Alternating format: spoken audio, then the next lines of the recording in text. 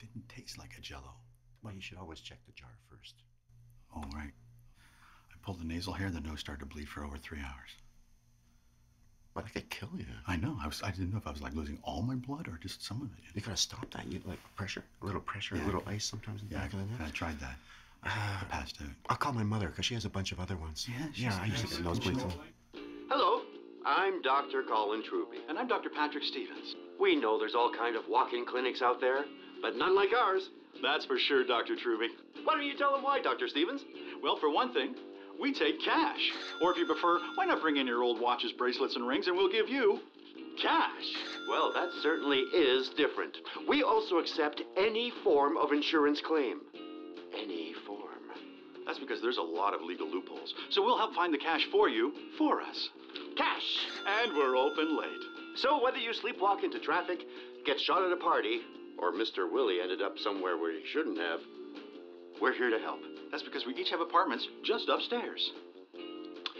We're divorced and we can't afford a homes of our own. But with your ailments and our recently disbarred lawyer, we are crawling our way back into society in some recently renovated government housing. Oh, and hey, don't let that medical doctor sign fool you.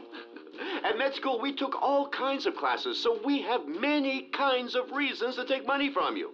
Reasons like Dentistry, wounded pets, plastic surgery, wine pairing, limb removal, limb replacement, mood disorders, fungal disorders, hair transplants, psychological listening, feng shui, marriage counseling, shoe tying, dietary management, surgery of almost any kind. And thanks to the internet, recently ordained Dr. Father Truby can even hear your confession. that'll be six Hail Marys and two Our Fathers. They pay the nurse on the way out. So whether you're sick in the head, body, or soul, we've got a scalpel for you. Doctors Truby and Stevens, make your appointment today. Well, they're supposed to be quite good doctors. Eh. But they are. The, the TV said so. That's why I'm here. Oh. Well, I, I hope it's nothing too serious, darling. Eh? oh, oh, well, that's it's quite obvious why you're here, isn't it? Why are you here? Room one. Mr. McDavis two. Is this on? Am I on now? Can't cross my R's. There's only two people out there. Mr. McDavis to room one. Cynthia DeMoron, take the other room back here. Oh, come on now. Who's the dirty soccer mom? Yes, you are. Yes, you are. Yes. Oh, oh, you put the I in MILF. Yes, you do. Yeah. Oh, oh, oh, oh, yes, yes, yes, yes, yes, yes. Okay, and if you'll just check your credit card for love language, and thank you for calling. Oh, my. We are disgusting. Come on, it brings in extra rent, Colin. Rent's due in 10 days, alimony in four, lease payments on the x ray machine. Oh, they took the X-ray machine last night. Last night? Yeah, you were on that dog walking job. I didn't want you to break your stride. This is nuts.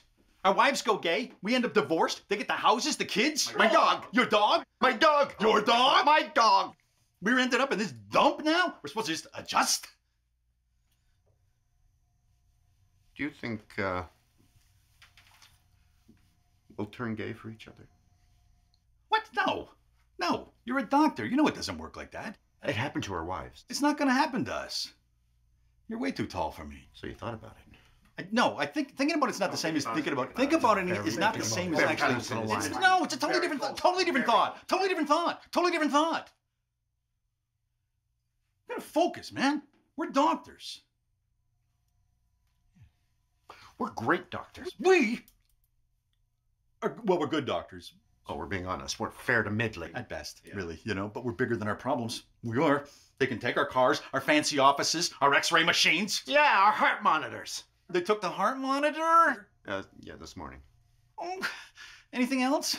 The scales. It's this can't. Took the scales.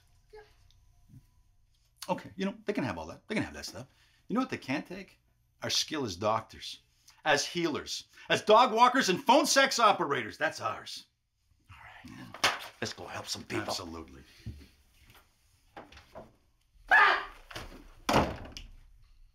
Knife in his head. He's got a knife in his head. Yeah, good luck with that.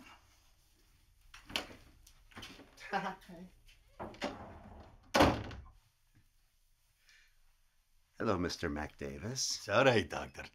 I, I screamed myself when it first happened, not like you, not like a girl, but I did scream. I understand. I've had this gas for about six months, and I'm bloating.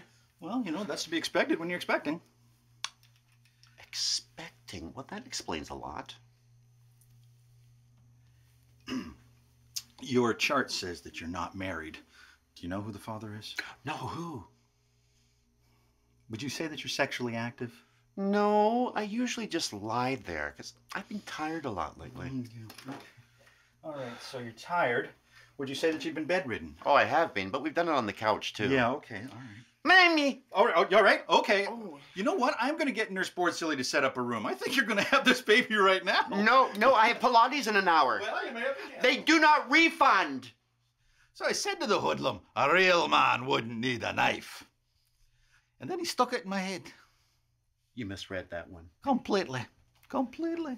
Uh, if you could just look that way, please. What are you doing now, Doctor? I'm taking an X-ray. Oh, X-ray. Yes, I believe this knife in my head is a message from the Lord. And they stuck it in my face so I wouldn't miss it. Oh, what was the message? I don't know. It hurts too much to think about. This has to come out.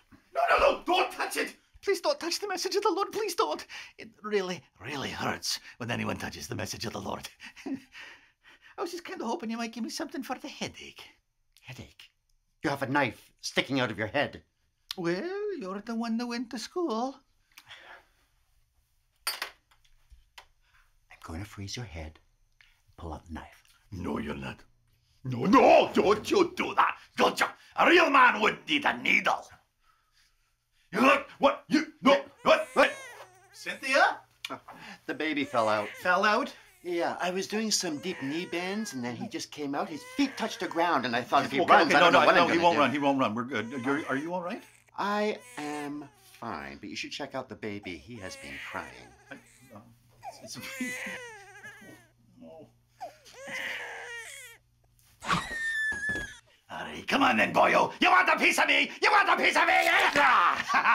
oh, oh, oh, I see. I said you were a good doctor. What's, what's going on? The good news is, I got the knife out of his head. Oh, The bad news is, he just fell on it. It's in his chest. we double bill him. Ka-ching! Is on? I pushed the G-sleep red button. We big hemorrhoids. This thing is puckered. It's puckered, isn't it? Hello? Hello? I don't even think anybody's listening. Hello? Hello? Hello?